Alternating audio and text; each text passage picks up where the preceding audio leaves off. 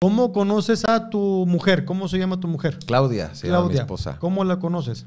A ella la conocí hace 11 años, güey, por ahí. Eh, Acuérdate, por favor, Ian, ¿sí? no, sí, es que siempre, o sea, ella no sabe. digas por ahí, porque No, vas no. a tener pedos en tu casa. Fíjate que mi mujer no ve nunca ni un programa, güey. Ok. Ella dice, no, no, yo Entonces prefiero... ahorita podemos hablar de putas y le dicen, Para traerlas, güey.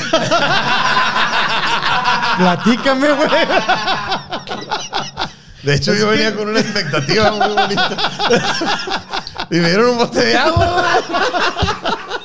A ver, compositor, músico, carita. Y no me digas que.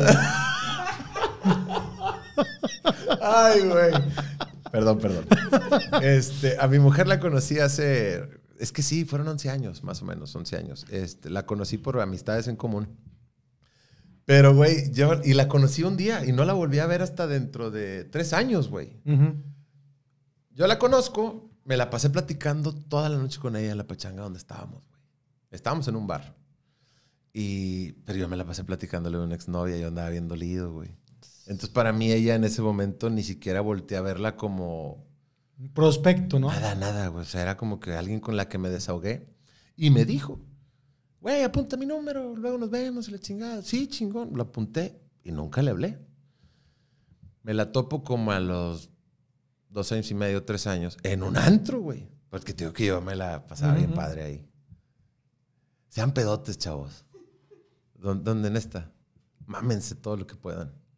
Porque un día se va a acabar. El, el hígado. Díganle sí a todo. Entonces me la topo en un antro. Igualita de chula. Mi, mi esposa es guapísima. Entonces yo estaba con un- uno de mis mejores amigos. Este. Que era conocido de ella de la primaria y esas cosas. Entonces, ¿qué pedo? Saludo. Primero reconoció a mi cuate. ¿Qué pedo tú, cabrón? Nunca me hablaste en la chingada. ¿Y cómo has estado? Bien, bla.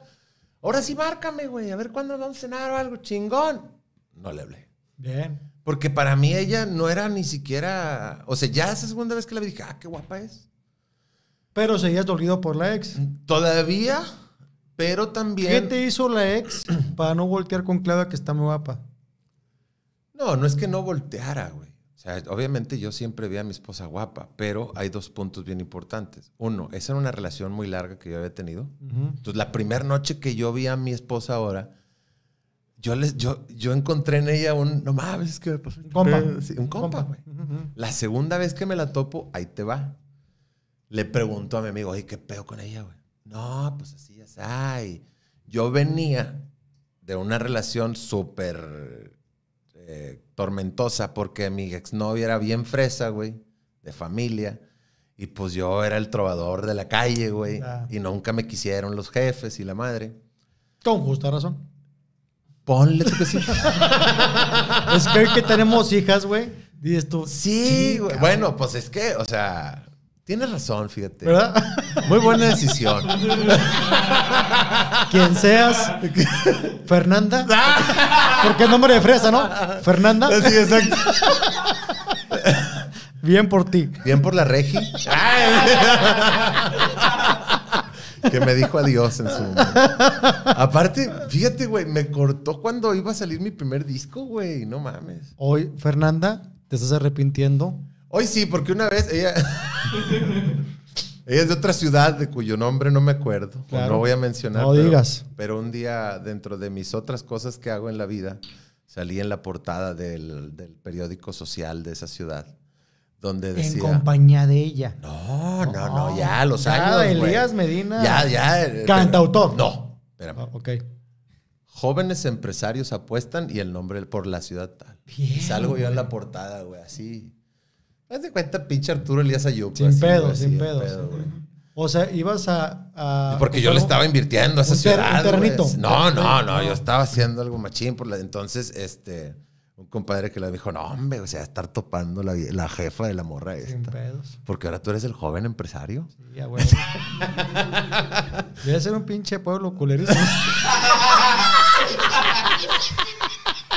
No. No, por- no tenemos por qué estar hablando así de Zacapuaxtla, Puebla. güey.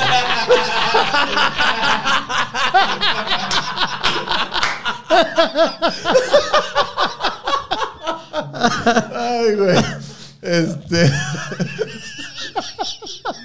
Ok, saliste en las sociales. Ya nos Ay, fuimos güey. muy allá. ¿Ya ¿Tienes tiempo todavía? Sí, sí, güey. Este, bueno, resulta, perdón. Este, la, la segunda vez, ahí va. Le pregunto a mi cuate, regálenme tantito rollo. ¿Por güey, qué no estás sé, sudando, cabrón. carnal? No sé, tengo mucho calor, güey. Vengo de la, de la playa. Ok. Aparte lo que estás diciendo también está como... No, es que tomo mucha agua, güey. Bien, y luego bien. inmediatamente estás así con el pedo este. Cuando ya la veo por segunda vez a mi esposa, le digo a, a mi compa este, oye, platícame, güey, de ella. No, pues es fulanita, este, vive acá en la chinga. Fresa, güey. de buenas familias. No, no. y no es del Zacatlán, sino No, es de aquí de Monterrey. aquí, güey, o sea. que aquí sí. Sí, o Sí sea, el que cabrón. dice aquí sí, aquí sí, güey. Luego aparte de, de- de- de familia, familia, güey. Entonces dije, no, ni madres. Y otra vez, No le va a- nunca le volví a hablar. Tres años después, güey. Porque ahora te estoy hablando, si fue 2010, 2011, luego la vi en el 2014 y luego la vi en el 2016. Ujú, ujú. En otro antro. No, ya no. estaba yo con un amigo. Miento, yo estaba en un estudio de grabación con, con el Pecas, caballero. Y me habla un amigo, me dice, eh, güey, ando con unos amigos y amigas, güey. Y aquí hay una chava que dice que te conoce porque yo le empecé a decir, no, pues yo tengo un amigo, compositor, bla, bla, bla. Y aquí está, güey, que te quiere saludar. Y ahí es donde digo, a esta morra yo la traía en algas desde el primer día. Claro. Porque me dice, y nunca me hablaste, maricón. Y empecé a platicar con ella, ¿qué onda? ¿Cómo estás? Bla, bla, bla, ¿De dónde andas? Pues yo, mira, yo voy a estar, yo en ese entonces estaba viviendo en Guadalajara. Dije, mira, yo voy a estar estos 3, 4 días en Monterrey grabando en este estudio. Al día siguiente fue, con, con amigos, y así, en bola. Y de ahí empezamos a platicar. Pero era una cuestión más de, WhatsApp y... de, de WhatsApp y ese rollo. Y al grado en el que ya después empezamos a medio salir. Y un día, pues yo también te digo, yo era muy cabrón, güey. Y luego, pues yo andaba de cabrón y ella, pues le. le Le llega un mensaje, chismes. sí, cosas que eran ciertas, güey. Me dejó de hablar, yo me arrepentí, la busqué otra vez, como en las novelas. Y le dije, ¿qué te parece si te invito a salir por primera vez? Y ya de ahí nos nos separamos. Poquito tiempo después nos fuimos a vivir juntos. ¿Pero qué le dijeron, güey? No, ¿A es que. ¿A quién se andabas metiendo? o sea, a- no quiero saber quién, pero sí le andabas metiendo. Es que yo era, o sea. O sea, ahí, ahí te va. Con Claudio saliste de compas a ver qué pasa. Y tú dijiste, no hay compromiso aquí porque cada fin de semana, pues, brinca la liebre. Así le Yo entiendo. nunca quise tener algo serio con ella porque yo sabía que me iba a casar, güey. Ándale. Primero la vi muy fuera de mi liga Ujú. y luego, precisamente por eso, cuando vi que había una entrada y que había un interés de su parte, dije, no, no, no, no, no, no. Y yo corría, güey. Entonces para mí era un, ella me decía, es que tú me quieres. pendejo?". Y yo le decía que no. Y me decía, es que yo veo que tú me quieres. Ujú. Y yo, no, no, no, a mí me encanta el pedo y yo... Las putas. Ah, sí, lo mío. Más que el pedo las putas. No soy muy tomador, pero las putas sí. Y una vez que bebo. Chingado, güey. Este, entonces, ella sabe que yo le sacaba la vuelta. Y un día le dicen, oye, es que este güey lo vimos en tal lugar con fulanita, manganita. Y me decía, yo le decía, De a trigo, güey. ¿eh? De a trigo. ¿Cómo de trío? ¡Ah! ¿y No, no, no. ¿Y no? Tengo que decir una, güey. Va, va. Puta, vas a cagar, mujer. Saludos, Claudia. Ya aquí, aquí dicen día- cosas que no dicen nunca. Un- es que un día estaba yo recostado en la cama y se acerca ella. No recuerdo bien. Ella es Claudia, obviamente. Sí, ¿verdad? sí, obviamente. Creo que estaba embarazada, güey. Y nosotros ya sabíamos que iba a ser niña. Y como que se, se me recuesta encima y me dice, ¿qué se siente? O, o algo así como que habías tenido dos mujeres arriba de ti. Y luego. No, no, no, Y me dice, chingas a tu Sí, visa". sí, sí, sí, sí. Claudia, te entiendo. entiendo la mentadona de madre, Cristo, mi compadre. Te la merecías. Este, en fin, eso fue lo que pasó. Este, pero bueno, ya repito, así la conocí, así se fue dando. Cosa importante, ahorita que hablábamos de las cuestiones sociales, es que antes de... Ay, voy a decir la frase cliché. Y esto nunca lo había comentado. Te agradezco. Eh, cuando voy a... o tomo la decisión o tomamos la decisión de, de hacer vida juntos, fui a... a- busqué a mi suegra y le dije, necesito que me regales tiempo para un café, para platicar. Ellos siempre se portaron súper atentos conmigo y súper... eh, me abrazaron, ¿no? Porque Muy- ya no muy- eres el trovador de un no, bar. no, no, Ah, ya, ya, no, ya. Este, ellos me trataron muy bien desde un inicio, pero yo era el novio, nada más. Ujú. Y una vez, ya que vamos a ese cafecito, le digo, mire, yo la invité aquí porque le quiero platicar lo siguiente. Yo soy muy feliz con su hija, eh, somos, estamos de novios, pero estamos viendo la posibilidad de hacer vida juntos y irnos a, a- a vivir juntos, pues. Y le quiero platicar quién soy, de dónde vengo y lo que he hecho. Porque si a usted no le parece, Me vale madre y como no, quiera me voy no, no, no, no, no, no, no, le dije, si a usted no le parece, eso nunca va a ser vida, ni para ella, ni para su hija, ni para usted, ni para mí. Y ahí le va. Nací, haz de cuenta, le aventé el podcast de Sergio Mejorado, güey. Nací tal día, vengo de tal colonia, no tengo para los frijoles, tengo tanto en el banco y su hija lo sabe, no tengo una familia que me respalde, he sido borracho, he sido esto, he sido bla, bla, bla, bla, bla. ¿Cómo la ve? Le digo de todo corazón, no me voy a enojar si usted me dice que no le parece. Al contrario, se lo voy a agradecer porque, repito, su hija es súper bonita, súper hermosa sentimentalmente, que va a encontrar otro buen hombre. Y yo sabré hacer vida y usted va a estar bien feliz. Entonces es el momento exacto para que usted diga, me dé la bendición tal cual, o de plano diga, ¿sabes qué? No, güey. Y yo, mire, me hago pendejito y me voy yendo. Soy buenísimo para hacerme un lado. Y ahí ella me comenta la frase, de- me empieza a platicar de su papá y de su familia. Y dije, no, me va a dar una bateada brutal. Y al final me dijo, eh, yo, mi papá siempre me mencionó que, me, que buscáramos alguien trabajador y que nos quisiera mucho. Y yo veo eso en ti, entonces tiene mi bendición. Y de ahí, mira, Ah, qué chingo. tengo la Perdóname, mayor ¿y de en las esta ecuación el suegro no existe? No, sí, claro. Ah, ¿qué pasó con el suegro? Mi- es que yo lo vi como que si le platico primero a mi suegra, porque yo ya sabía que el suegro, o sea, yo me acuerdo que el suegro un día me dijo, dije, no, pues es que ya quiero vivir con su hija, este, y pues yo me voy a encargar de todo. Me dice, sí, güey, pero eso a mí me vale madre, yo me puedo ocupar de todo. Ay, güey.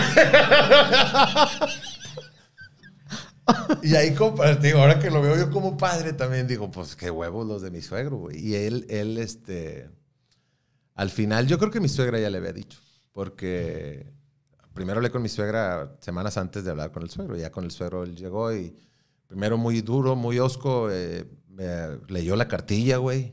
¿Quién soy? O sea, yo soy este, este, este y este, y tú nomás haces esto con mi hija. Y Créame que no va a pasar. Lo entiendo. Y hasta la fecha es un pan mi suegro y mi suegra. O sea, porque realmente pues también llevo una vida muy bonita con mi mujer. Dice mi suegro que una de mis grandes virtudes es que no doy problemas. Ujú. Entonces, pues al final de cuentas ya ha estado todo muy padre. ¿Cuánto tiempo tuvieron eh, juntos y luego cuánto, hace cuánto que se casaron? Todo fue bien rápido porque, pues te estoy hablando que la reencontré en el 2016 y me casé en el 2017, güey. Ah, o sea, viviste nada juntos. viví tres meses con ella, le, le di anillo y a los tres meses me casé. ¿Cómo? Si ya te dijeron, oye, vamos a vivir juntos ya, ¿por qué decidiste casarte? Porque yo soy ¿Cómo te cayó el, el como 20? el Homero Simpson del meme que va bajando unas escaleras, güey. Yo soñaba con mi boda. Ok, ok. Ya una vez que entré en ese mundo, oye, güey, no hay que casarnos. Incluso mi mujer me decía, ya con boda en puerta. Y si de una vez buscamos ya tener un hijo, no, no, no, no, no. no. Estamos en medallas, o sea, ya estamos a nada de, De lograr que lleguemos bonitos matrimonio y todo. Entonces ya, era, ya fue una cuestión muy, muy este, personal y, y obviamente este, no me arrepiento porque fue una gran experiencia. Al final el, el matrimonio es solamente un, Un papel, ¿no? exacto, un papel, un protocolo. ¿Cómo te enteras que viene Lucía? Esa cuestión, yo me acuerdo que le decía mucho a mi mujer, buscábamos tener rápidamente familia, ¿no? Nos casamos un 30 de noviembre y yo le dije, tenemos que hacer la tarea rápido. Por las cuestiones de la edad, ya los dos estamos grandes, bla, bla, bla, ¿no?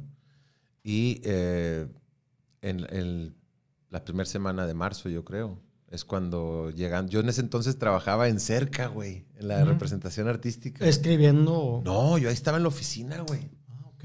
Yo obviamente era compositor de los grupos de ahí y todo, pero de repente me ponían que hacer cosas para las redes sociales, este, que vete con tal grupo a tal lado, porque cuando yo empiezo a andar con Claudia, empiezo a trabajar. Yo nunca había trabajado en mi vida. Entonces, este, trabajaba en cerca y llegué de la oficina a las siete y garras y me tenía adornado todo el comedorcito donde vivíamos en la cocina, mejor dicho, la mesita de la cocina, con globos y este un uniforme de los Pumas, porque luego a los Pumas, güey. Este, y, la prueba de, embarazo.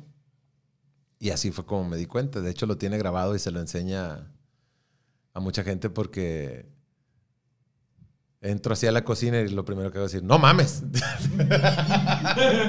Y así fue como me di cuenta que, venía Lucía en camino. ¿Y por qué Lucía? Siempre estuvimos peleándonos por los nombres eh, y al final llegamos a la conclusión que podría ser buena opción Julia o Lucía. Y el día que también tuvimos la onda de el globo para saber si era niño o niña, empecé inmediatamente, ah, como lo hicimos solos, güey, o sea, no quisimos hacer pedo de que invitar a la gente y cosas así como le hacen ahora. Nosotros dijimos, pero lo queremos vivir, entonces fuimos ahí de a comprarnos nuestro globito y llegamos a la casa, pusimos una cámara. Y cuando me doy cuenta que es niña, al momento que yo iba a compartir la foto en mis redes sociales, empecé a escribir un texto donde le estaba dando yo la bienvenida y así le puse, ya te esperamos, Lucía. Entonces dice mi mujer, Tú fuiste el que decidió al final. Pero no me preguntes el por qué. Yo tenía o se va a llamar Julia o se va a llamar Lucía. Pero cuando empecé a escribir, así fue el nombre.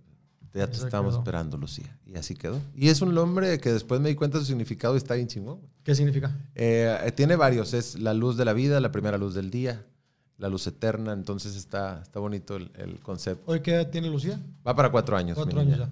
Y pues tu princesa, ¿no? mi princesa, mi complemento, ella llegó, así como te decía que tuve muchos eh, desazones en mi adolescencia y juventud y niñez, ella vino a taparme todos los huequitos que yo tenía realmente en el corazón. Me, me enseñó muchas cosas, me sigue enseñando día a día y me sorprende. Eh, no quiero sonar a papá cuervo, pero me ha superado en muchas cosas, incluso musicalmente, a sus pequeños cuatro años. Entonces, eh, es, es, algo muy bonito que me vino a mí a dar mucha cuenta de las cosas. Así como te dije que en su momento la muerte de mi padre biológico me cambió mucho la vida en el aspecto positivo de que empiezo a tener más suerte, entre comillas, en la música, porque es cuando inicio en los bares. Cuando nace Lucía, es cuando yo empiezo a tener un poquito más de reconocimiento en mi carrera como cantautor.